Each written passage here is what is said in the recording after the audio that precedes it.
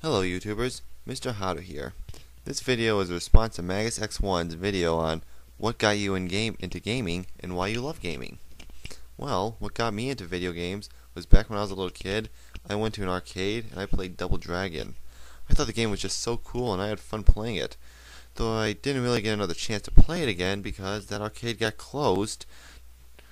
But then my, my older brother let me play Super Mario 3, I was having a lot of fun playing it, and I thought it would look so amazing. I was like six at the time, and to me, Mario was just so interesting and fun. Then when we got a uh, Nintendo 64, I became a hardcore gamer thanks to a Banjo-Kazooie, pretty much almost every Pokemon game on there. Yes, I was a huge Pokemon fanboy when I was a kid. Donkey Kong, Yoshi Story, Kirby, and almost every single game with Mario in it.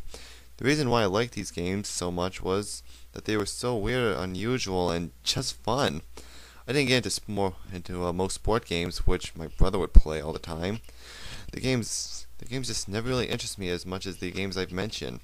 The reason why I love gaming so much is, as I mentioned before, is because video games are just unusual. Playing the games I said earlier were part of my childhood. I was just it was just so much fun playing them, and it's still fun playing video games like Mortal Kombat vs. DC, Mario Kart Wii, Blazing Angels, and Brawl.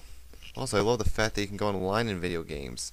Me and my real life friends can't always hang out in the real world, so we go on Xbox Live and play some Halo or something. I don't know. I do other things besides playing video games, like uh, like playing golf and shit. I still come back to video games all the time. And on your question about about why do we like retro and new games. I like both retro and new games because they can all be addicting at times. Well, that's my response. With that, Mr. Hotter signing out.